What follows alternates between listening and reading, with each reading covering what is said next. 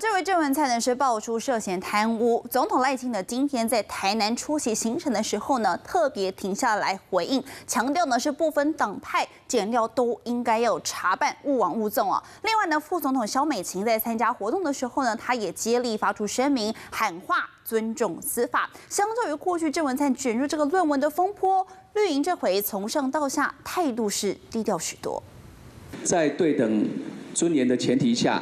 用交流取代围堵。两个月前，在总统赖清德的任命之下，郑文灿接任海基会董事长，致辞时还特别念了一段赖清德的当选感言。而如今上任不到三个月，却卷入涉贪风暴，五百万交保，赖清德第一时间跳出来回应：不分党派，不问何人，只要涉及非法，减掉都应该查办，不枉不重，打仗扫黑肃贪。是目前政府重要的工作。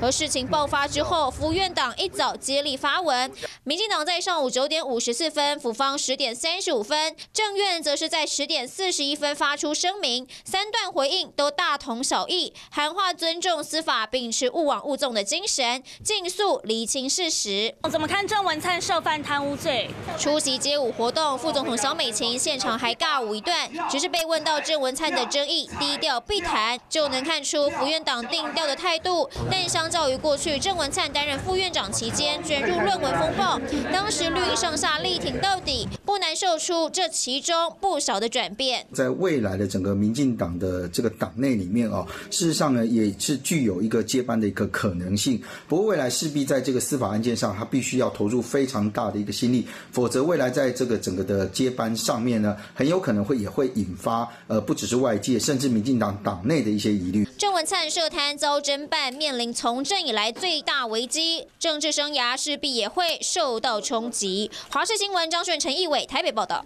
Hello，我是雷亚，想要抢了先掌握最及时的新闻资讯吗？赶快订阅、按赞、开启小铃铛，锁定华视新闻 YouTube 频道。